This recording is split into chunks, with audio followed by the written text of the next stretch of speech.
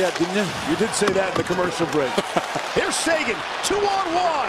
Seguin, back in, got it across, score!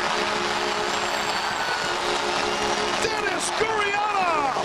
And just like that, the Stars reclaim the lead. It's 4-3 Dallas.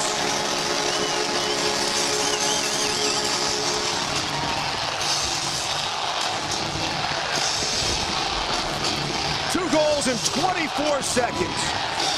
Well, we talked about Gurianov all night. His speed has been electrifying.